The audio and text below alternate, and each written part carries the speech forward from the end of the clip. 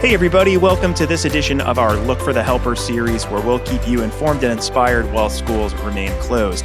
My name is Steve Sofronis, Community Marketing Manager here at Ellevation Education. And as always, if you'd like to share your story, you can go to bit.ly slash ELL Helper. That link is in the top right hand corner. Today is Friday, March 27th. If days matter anymore, I suppose they matter to me. I'm watching kids, my kids, playing outside uh, through the windows, which is a really nice sight. And today we're going to highlight our most recent podcast interview uh, with Katie Francis. Katie has been on the podcast before. We'll highlight that episode in just a second, but she is a certified EL teacher in Fayette County, Kentucky. She spent her first eight years as a mainstream classroom teacher working with diverse groups of students, and she currently teaches at Northern Elementary School, where she and her teammate Jamie Combs serve over 150 English language learners. You can connect with her on Twitter by clicking the link in the top right hand corner of this video. And her Twitter feed is really cool right now because she's asking some uh, celebrities to do some really interesting things. I'll let you check that out and maybe uh, spread the word. More on that later. During our 25 minute conversation, which you can find in the top right hand corner on our Highest Aspirations podcast, we talk with Katie about how she and her colleagues at Fayette Schools in Kentucky are supporting families who may not have internet access or adequate devices at school.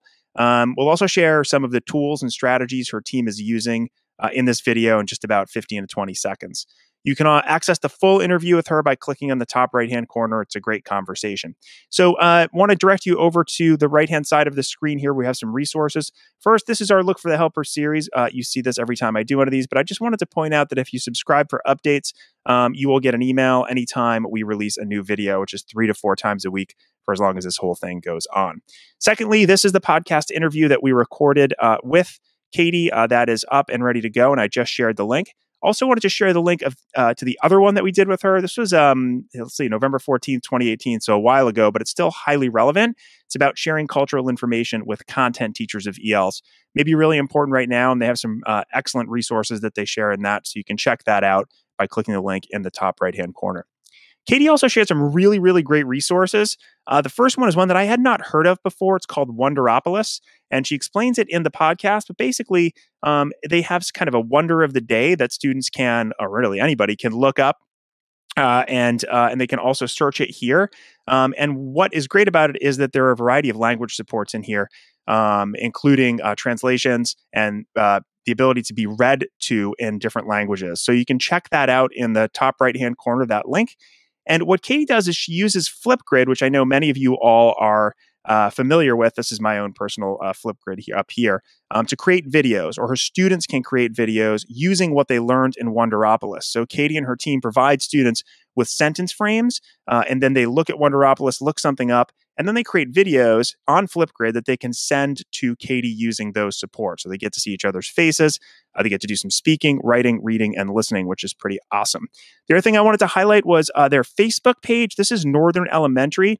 And they're doing something really unique here where they're having um, different teachers, and they really are hoping to get some celebrities and other folks um, to go ahead and read their stories uh, online so that students who are at home can listen to these stories. I thought that was a really excellent idea and highly replicable. Before I let you go, I want to remind you that we also have our um, Ellevation Distance Learning site up for free that is available for anyone. Um, you can find effective activities to help your English learners wherever they are. So I invite you to explore that site, take a look at it.